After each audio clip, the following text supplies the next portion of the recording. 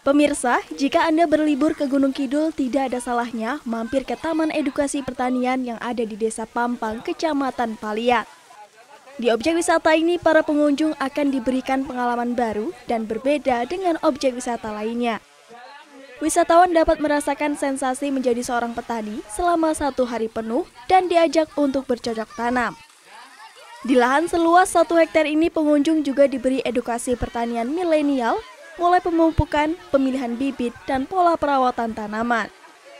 Di Taman Edukasi Pertanian ini, wisatawan disediakan bibit padi dan sayur yang dapat ditanam secara langsung di lahan persawahan ini.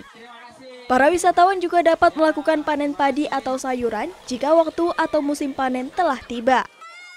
Tidak itu saja, pengelola objek wisata Taman Edukasi Pertanian juga menyediakan wahana permainan bagi anak-anak. Untuk menikmati wisata alternatif ini, pengunjung dikenai tarif Rp15.000 dan mendapat fasilitas makan serta pembimbing petani setempat. Jadi tujuan dan konsepnya adalah mendekatkan anak-anak terhadap pertanian supaya nanti 20 tahun kemudian pertanian di Pampang itu lebih maju lagi. Kemudian anak-anak juga tidak malu-malu lagi berprofesi sebagai petani.